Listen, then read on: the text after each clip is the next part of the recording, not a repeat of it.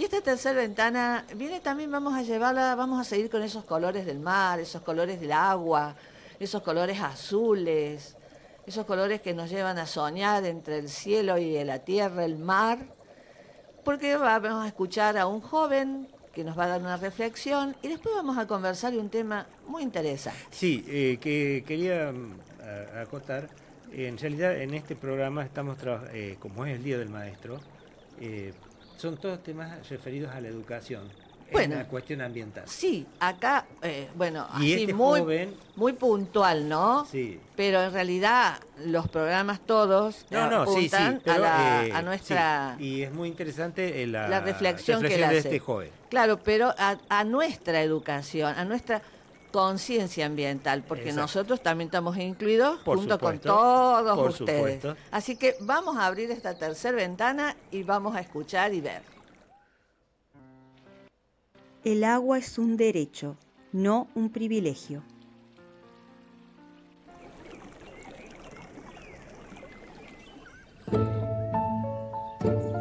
El problema del desmonte, la deforestación y la falta de agua potable en nuestra comunidad son el resultado de la desconexión de algunas personas con la naturaleza. Soy Uriel Barzola, tengo 18 años y vengo de una comunidad originaria descendiente del Polo Sanavirón ubicada en la provincia de Córdoba, en un pueblo que se llama Villa Rosario del Saladillo, donde tan solo somos 160 habitantes. De chico siempre estuve conectado a la naturaleza, y esto es porque vengo de una comunidad indígena que valora y depende mucho del monte.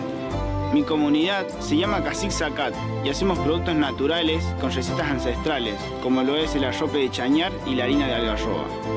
El monte nos provee, nos da alimento, nos da vida y es el fruto de esta tierra lo que convertimos en productos, para mostrarle al mundo nuestro respeto por el planeta. Pero hoy vivimos en una época de extremos, la crisis climática es un claro ejemplo.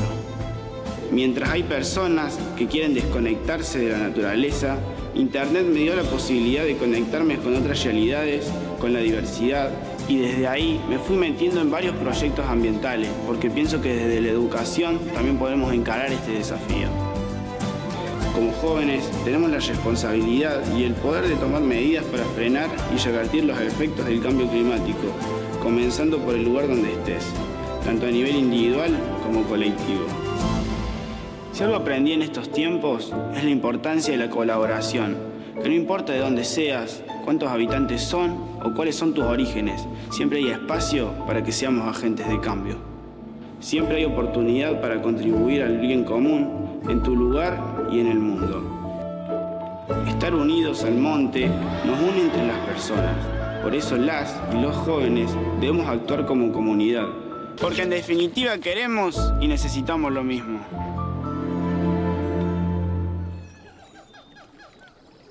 Con estos sonidos últimos y con las palabras de Uriel, que dice que todos necesitamos lo mismo, es la reflexión de él, es muy interesante. Y de esa reflexión, o algo que realmente nos, mueve, que bueno, creo que es, es la situación en la que estamos, es la desconexión de nosotros, los seres humanos, con todo el resto de la naturaleza y que como siempre decimos, somos parte, porque nosotros somos seres naturales.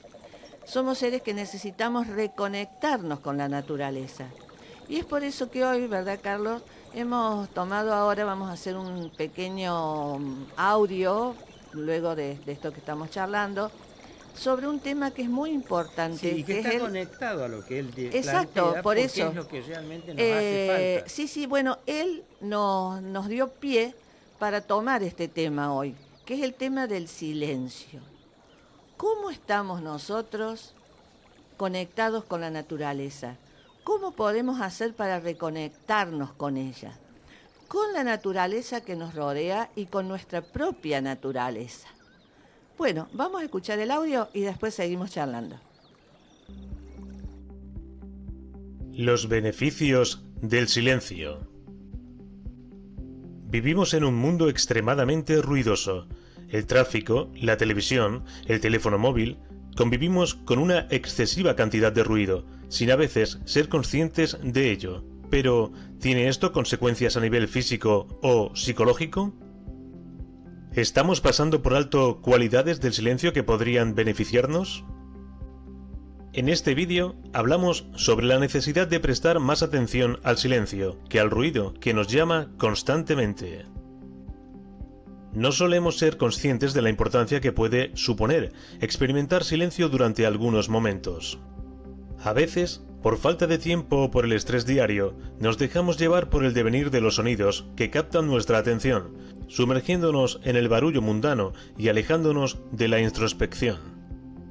Algunas personas incluso no se sienten confortables si no escuchan ruido a su alrededor y prefieren rodearse de sonidos que rompan el silencio, tan extraño en estos días. Esto se demuestra en estudios muy populares, como el llevado a cabo por la Universidad de Virginia, en el que varios participantes debían elegir entre estar a solas, en silencio durante 10 minutos, o sufrir una pequeña descarga eléctrica. Un 67% de los hombres y un 25% de las mujeres eligieron la descarga eléctrica antes de pasar ese corto espacio de tiempo a solas con sus pensamientos. Sin embargo, son muchos los beneficios que puede aportarnos pasar tiempo en silencio y que no deberíamos pasar por alto. Beneficios fisiológicos. No son pocos los beneficios que un rato de silencio tiene para nuestro organismo. Se ha comprobado que el silencio consigue reforzar el sistema inmune, así como bajar la presión sanguínea. Además, promueve el crecimiento de nuevas células en el hipocampo, una región cerebral implicada en procesos de memoria y aprendizaje. Más aún, según esta investigación publicada por la revista Heart, gracias al decremento de estrés que el silencio consigue, incluso el sistema cardiovascular se ve beneficiado. El silencio como arma antiestrés. El ruido produce estrés en nuestro sistema nervioso, cuando la amígdala, una estructura cerebral implicada en las emociones y la memoria emocional, detecta el ruido, esta envía señales cerebrales que liberan hormonas como el cortisol o la adrenalina, generando esta sensación de estrés. El silencio puede ayudar a disminuir este estrés y ansiedad generados por el ruido, así como a aliviar las tensiones gracias al decremento de adrenalina y cortisol que consigue. Ayuda contra el insomnio. Parece que convivir con el silencio durante varios minutos al día es una ayuda para descansar mejor por las noches. Según un estudio de JAMA Internal Medicine, las personas mayores que padecen insomnio encontraron un gran alivio ante esta afección tras seis semanas practicando la meditación, una práctica que requiere huir del ruido mundano, entre otras cosas. Fomenta la creatividad. El silencio es un arma poderosa para la creación. Al promover la relajación, las ideas surgen con más fluidez y calma y nuestra creatividad puede expandirse con más naturalidad. Cuando existen ruidos, las ideas quedan en un segundo plano y tendemos a prestar atención al entorno y olvidar así nuestra focalización para generar nuevas ideas y caminos. No es extraño encontrar que muchos de los grandes creadores de la historia han afirmado la calidad que les proporcionaba trabajar a solas, como Isaac Newton o Albert Einstein. Ayuda a la autorreflexión. El silencio puede fomentar una mayor autorreflexión y autoconocimiento. El mejor estado de concentración que produce es beneficioso para lograr bueno, hemos escuchado cuántos beneficios nos da en la parte física, la parte mental, la parte emocional, el silencio a nosotros, a los humanos, ¿no? ¿Les gusta estar en silencio? Ahí nos quedamos ahora en silencio nosotros. Justamente, eh, ¿te acordás el otro día en el webinar ese que escuchamos sobre el nuevo paisaje sonoro? Exacto. También eh, realmente que está relacionado a esto. Sí, sí. Eh, que bueno, cómo eso eh, afecta. El, claro, le, lo que vos dices, el nuevo paisaje sonoro, es que se está pensando, va, se está, no se está pensando, se está haciendo, y desde hace ya mucho tiempo, en las grandes ciudades, en las grandes urbes, por justamente esto que decía este señor, que hemos estado escuchando, o sea, el ruido, el trajinar, el movimiento, ese, eso que nos lleva, ¿no es cierto?, a estar permanentemente en ese estrés. Bueno, la necesidad en esos lugares de que haya espacios que brinden a las personas que viven en las grandes ciudades o ciudades pequeñas que también tienen su trajinar diario por el trabajo y un montón de otras cuestiones, espacios donde puedan estar así, puedan convivir con el silencio. ¿Y esos cuáles son? Los pequeños bosques urbanos, ¿no es cierto? Los espacios verdes. Exacto. Fuentes de agua, porque el agua, el, ese movimiento del agua, más allá del, primero la audición del agua, que da la sensación de serenidad, de limpieza, de, de vivencia, de claro, de frescura. Exactamente, exactamente. Y sí. Ujú. Porque no solo el agua que está quieta en, una laguna, en un lago, sino el agua que va fluyendo, por ejemplo, en fuentes, ¿no es cierto?, donde hay caídas de agua. El sonido ese que decíamos del agua, y esa agua en movimiento produce oxigenación en el aire. Y las personas que se sientan alrededor de esas fuentes a disfrutarlas, bueno, disfrutan también de ese movimiento del aire, de esa limpieza de la oxigenación. O sea que son fundamentales en los lugares urbanos, grandes o pequeños, ir tomando conciencia de que son necesarias, más allá de lo bonito del paisaje, de lo bonito que queda, ¿no? Pero esos lugares, esos espacios donde hay arboleda, junto por supuesto con plantas aromáticas que también hacen, porque ese aroma hace a la sensación de frescura y de serenidad, junto con flores, y todo eso trae las aves, trae el sonido, el canto de las, de las aves, trae las mariposas. Exacto, y todo eso hace a esa salud, ¿no? De la que hablábamos, que es la necesidad de estar sano, y eso es a través del silencio. El- nuestro rol como educadores ambientales es facilitar espacios de reconexión con esa naturaleza.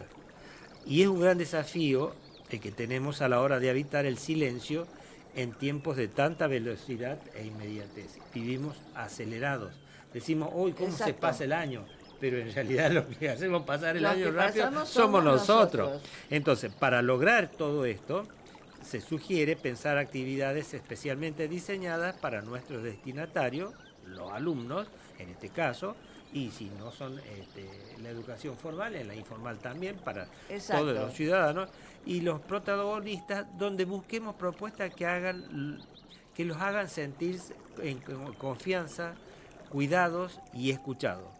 Porque muchas Exacto. veces cuando proponemos actividades que implican quedar en silencio y o contemplar, las personas pueden sentirse incómodas. Es muy difícil estar en silencio. ¿Por qué? Porque entonces tenemos que escucharnos a nosotros. Resistirse un poco, estar alerta a las miradas de los demás. Nos propusimos hacer silencio. Bueno, esto, ¿Cómo nos fue? esto que nosotros estamos hablando ahora, amén de que nosotros somos docentes, ya jubilados, retirados hace bastantes años, y que sí hemos intentado siempre eh, trabajar en ciertos momentos con esto del silencio, de la reflexión, que siempre es necesaria. Ahí este, ustedes pueden encontrar en, en Facebook una página que se llama Proyecto Ambiental, que es donde nosotros hemos sacado este pequeño texto y allí justamente los docentes, que los invitamos, pueden encontrar muchos proyectos, capacitaciones y cursos. No estamos haciendo una promoción porque No, nosotros no, tengamos no, algo que ver, no. sino porque realmente... No nos dan ningún- No, no, no, no nos da ningún rédito económico, sino que realmente es interesante. Por supuesto habrá muchas otras, pero esta es una de las que hemos encontrado que nos gusta y que, bueno, eh, también proponen esto del silencio. Más allá que lo proponen muchos más y nosotros, por supuesto, ¿no?